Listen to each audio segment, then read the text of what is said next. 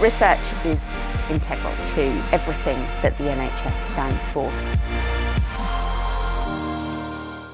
In February 2020, we were starting to think about what was going to happen in the Trust. And as an academic teaching hospital, then recruiting to trials is our core business. What transpired with COVID was that it was a far greater number of patients who came in a much more unscheduled way than we'd anticipated. And I think COVID really was just an exaggeration of what we try and do in a normal time, particularly because we had a disease where the treatments weren't available and we didn't understand how to treat the disease. It's important that any research that was done was designed in a way that it was going to be impacting the outcome for patients as soon as possible. The teams as a whole are crucial to all of what we do in research. I think it emphasises the importance with the Biomedical Research Centre where we have infrastructure in place that when you have a problem like COVID-19 that you have people in place with skills that can be useful for that.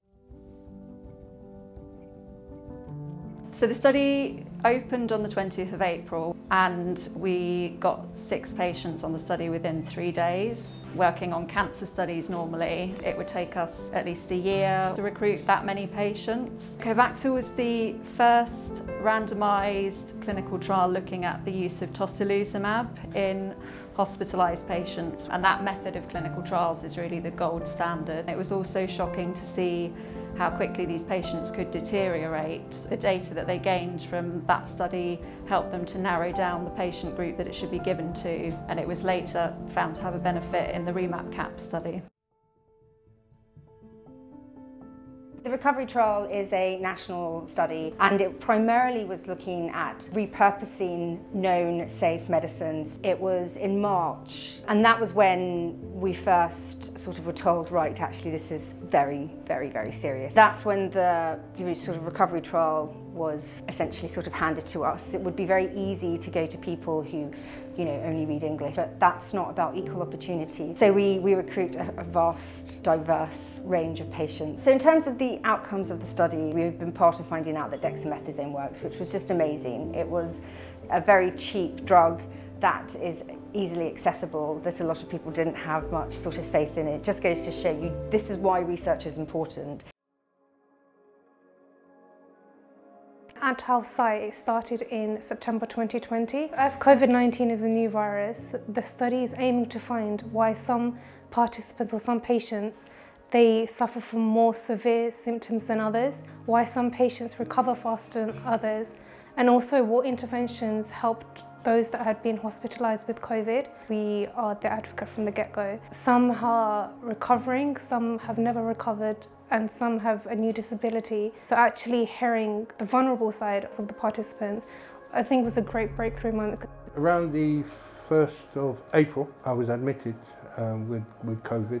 One morning, just couldn't move. When I was in the hospital, in the ward, I watched the nursing team, I watched them on a good day, bad day.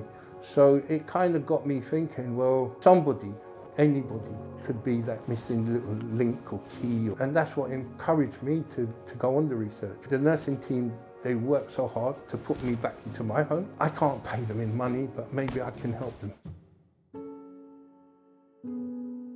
Research is integral to everything that the NHS stands for. In a pandemic situation, then you want to get trials initiated quickly. The quickest way to do that is with drugs that we already have. The REMAP-CAP trial is a trial that is looking at community-acquired pneumonia and how we might best treat that. And the idea is to use all kinds of different interventions at the same time.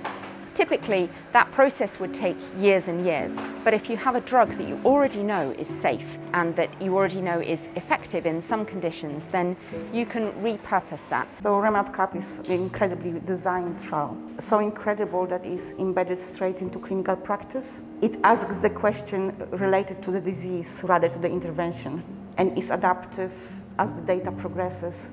We became such an integral part with the clinical team because we had to work so much closer together. There is more research to come. In intensive care, it's not easy.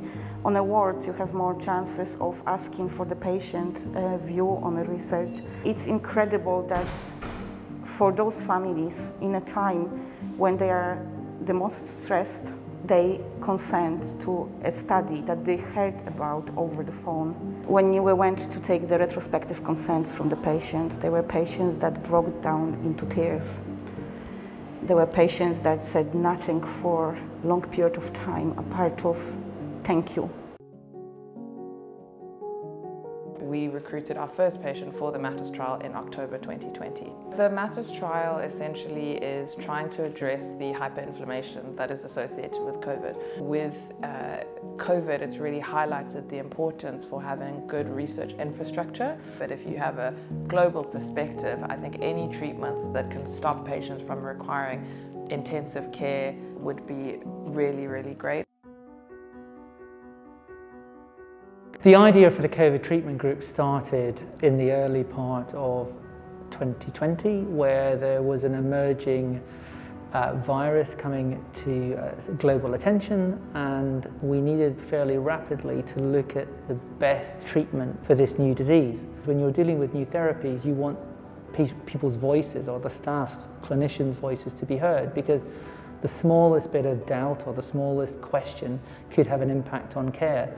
We were pretty much operational 24-7. National guidance would come out, sometimes very late at night, and by the next working day, we had a draft in place to offer that for peer review and make sure that it was fitting the, the trial criteria, but also making sure that it was safe and effective for our patients coming through the front door. There are lots of areas of work in COVID-19 that will help us in the future, not just for similar diseases, but for all research. The way we've put trials together has been much faster, and I think that makes the whole process more satisfying for everybody, and it means that the treatments that may be beneficial get to patients more quickly.